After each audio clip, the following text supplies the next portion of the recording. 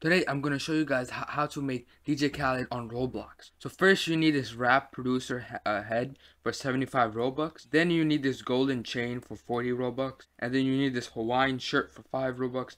And a matching pants for 5 Robux. And then if you want, you could uh, have the penguin package for the stomach.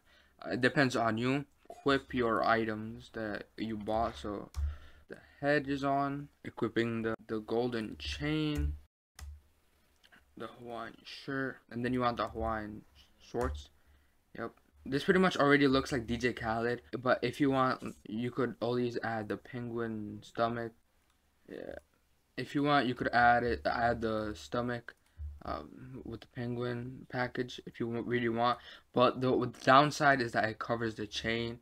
So if you want, you could have it with the penguin stomach or just do it blocky. In my opinion, I like it blocky, but it depends on you. This is how you guys could make DJ Khaled on Roblox for very cheap. It's 400 with with the penguin and only 125 without the penguin. It's a pretty cheap avatar you could make to look like DJ Khaled. So this is how you guys could make DJ Khaled in Roblox for pretty cheap. And if you guys like the video, make sure to hit that subscribe button, hit that like button, and I'll see you guys later.